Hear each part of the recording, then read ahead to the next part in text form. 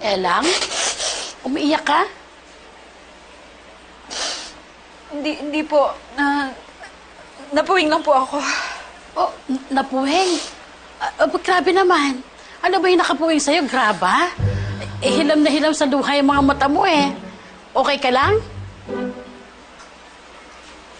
Okay lang po ako. May, may pag-uutos po ba kayo sa akin? Eh, magpapakuha nga sana ako ng tubig na may inom para naman malamigan tayo. Sige po. Sige.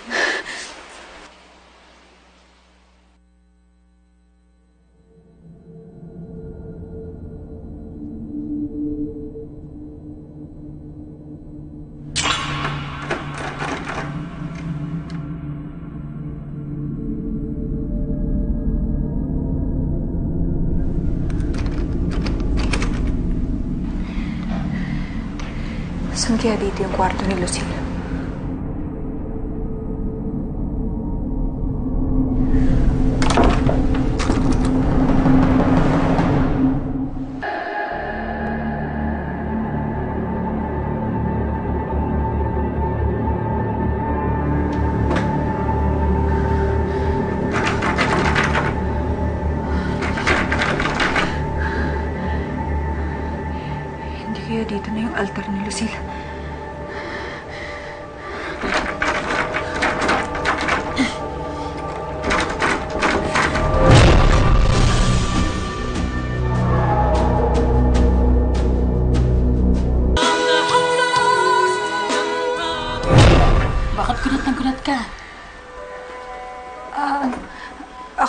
Kasi kung sino kayo. Bakit mo binubuksan yan? Naghahanap po kasi ako ng CR eh. Hindi dyan yung CR natin, nasa labas. Kumuha ka nga mo ng tubig na may inom natin. Sige po. Pasensya na po kayo kasi hindi ko po po kabisado yung bahay. Sige na, hali ka na.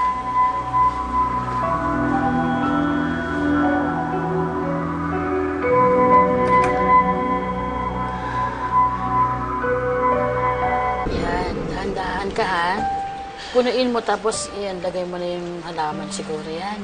Tama. Ah, Manang Feli, pasensya na po pala kayo kanina. Akala ko po kasi CR yung binubuksan ko. Hindi CR yun. Pero laging nakalak yun. Bakit po? Di ko rin alam eh. Eh kahit nga ako, hindi pa ako nakakapasok doon. Sila lang na mag-ina tsaka si Ma'am Cora yung madalas pumasok doon. Ako, bawal. Bawal akong pumasok. Sige, lagay mo pa. Eh, paano niyo po nalilinisan yun? Ay, hindi ko nililinisan yun. Basta ang binilin sa akin, bawal pumasok kahit sino. Sobra naman po. Ano kayang laman nun? Ay, bumali ko. Kahit nga ako nahihiwagaan sa kwarto na yun eh. Bakit naman po? Eh kasi, madalas kong nakikita si Ma'am Lucille na pumapasok doon ng 10 oras ng gabi. Parang mag-aalas tres ng madaling araw. Ginagawa niya? Hindi ko alam eh. Basta pagka sumisilip ako doon, mga nakasinding kandila lang nakikita ko.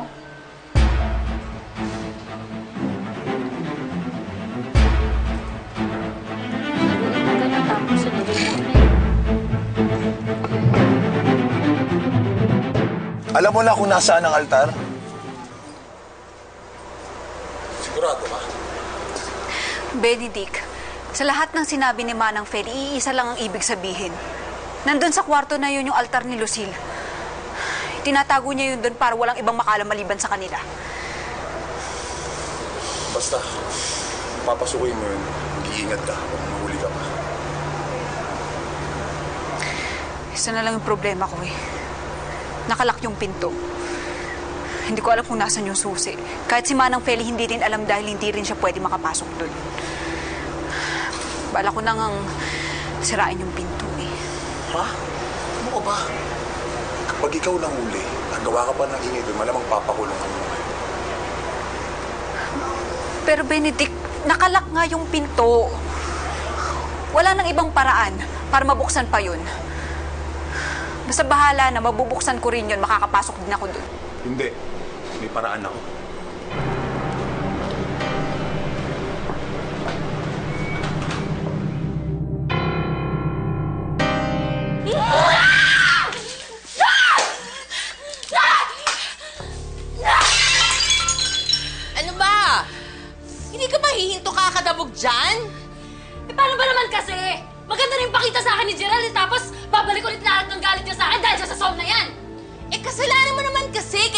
Ni Gerald, di ba? Oy, malay ko bang nakikinig siya sa usapan natin? Eh, dapat kasi nag-ingat ka. Eh, dapat kasi hindi ka na nakapagkita sa Sol na yon.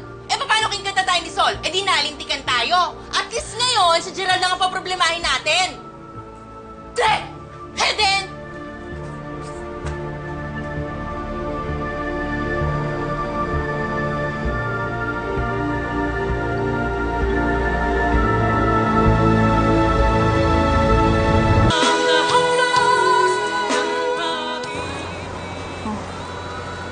Susi?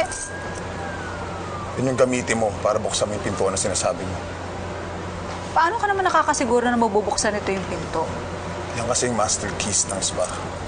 Sa lahat ng mga pintuan, doon yung ginagamit ko para buksan yung mga yun. Sabi nila, halos pare-pareho daw yung lock ng mga pintuan. So, subukan mo. Baka gumana isa dyan. So, siguraduhin mo lang na isa-isahin mo yung mga susi na yan, ha? Kasi sigurado ako isa dyan gagana sa pintuan na sinasabi mo. Maraming salamat, Benedict.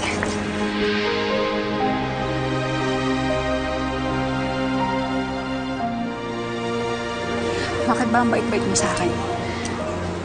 Dahil mahal kita, Angela. Mahal na mahal.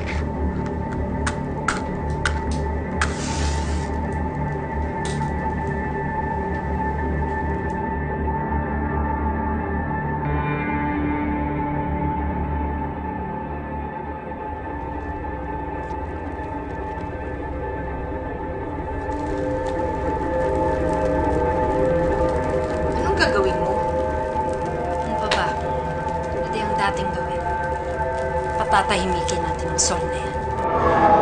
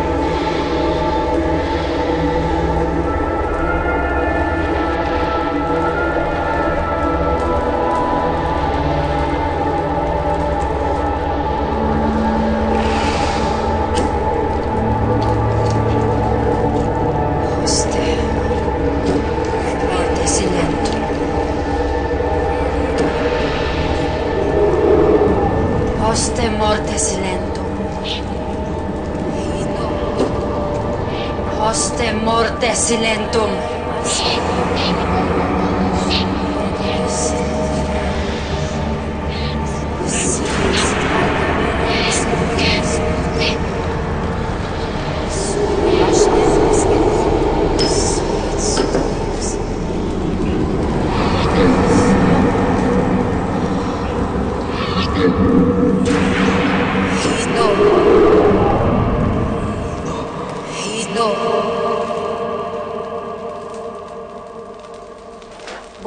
Bukas pupuntahan natin si Sol.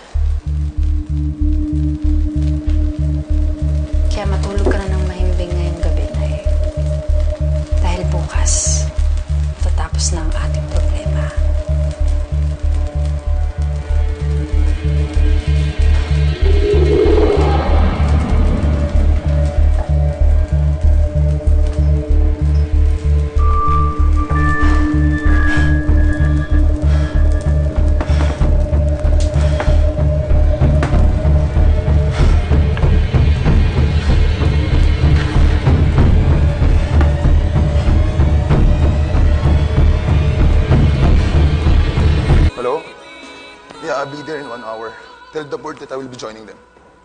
Okay, thank you. Angelo, may meeting lang ako. Samahan kita after ng meeting ko, okay? Okay lang, Benedict. Kung hindi mo ako masasamahan, may mga responsibilidad ka rin. Ayoko naman makaabala pa sa'yo. Pero ayoko nga na mag-isa kay. Okay lang ako, Benedict. Magta-taxi na lang ako. Huwag ka mag-alala. Kaya ako naman mag-isa. Sige. Please, promise me. Pag nagka-problema, tatawagan mo ako agad. Oo. Pangako yan, Benedict. Basta mag-iingat ka. Salamat, Benedict. Pagdasal lang natin na sana makita ko na yung hinahanap ko. Hindi mo naman kailangan sabihin yun eh. Alam mo naman na lagi kitang kasama sa mga dasal ko.